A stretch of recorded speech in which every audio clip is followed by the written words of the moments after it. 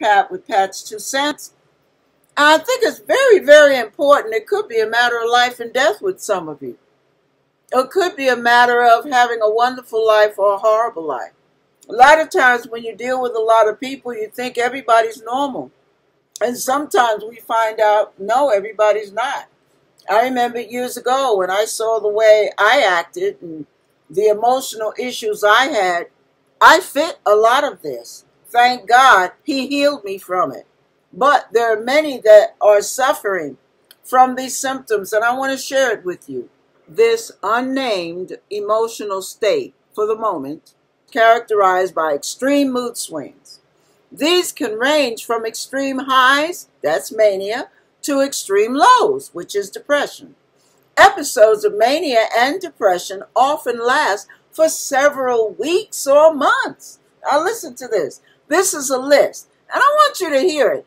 Go go down this list and stand in the mirror or sit and see if you can see yourself in any of these. Then you might want to take another look through another set of goggles, so to speak. Depression. During a period of depression, your symptoms may include feeling sad, hopeless, or irritable most of the time. You may lack energy.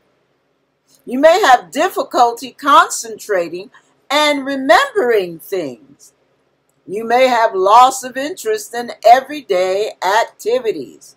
You may have feelings of emptiness or worthlessness, feelings of guilt or despair.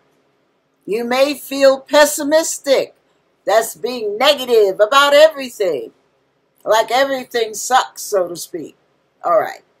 You may have self doubt, having disturbed or illogical thinking.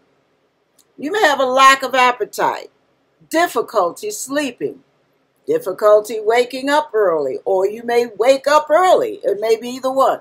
Suicidal thoughts could be in the mix as well.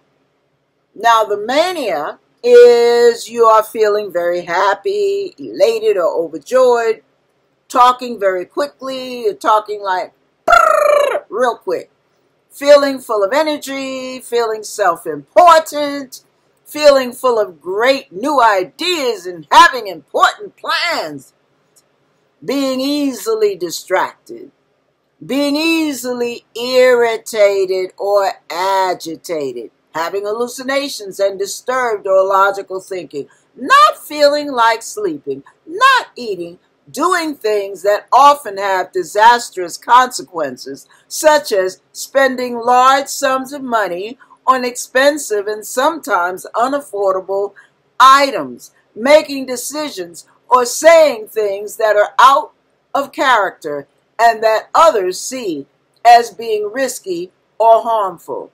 Now, in the depressing one and in the mania, there are also times when a person battles highly sexual desires.